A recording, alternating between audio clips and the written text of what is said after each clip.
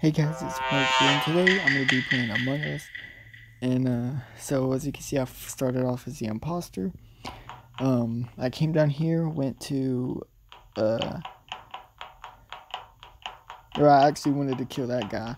Then I decided not to. I come down here, I go to the upper engine. To, because I was hoping someone would be there. So that's where I'm going now.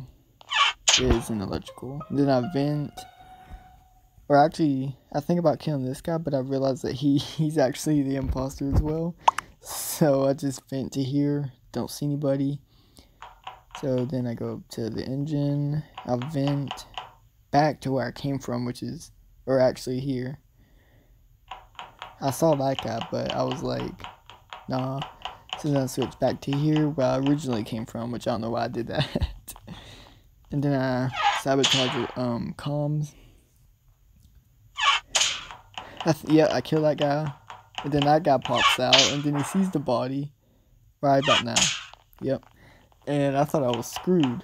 But it turns out that guy's just stupid because apparently he didn't he he never called me out. He um he called out someone else actually, so yeah. And see I said I just came out of electrical, which is stupid because I'm basically saying, yeah, I was in electrical and I just came out. So that means I could have killed him. So it's pretty stupid. But I, I, I, somehow get away with it. Now this part, um, is just him getting voted off. That's the guy that came out. they thought it was him. Which is really funny. um, but yeah. Then I don't get another kill after this, I don't think. I think we just win by, um,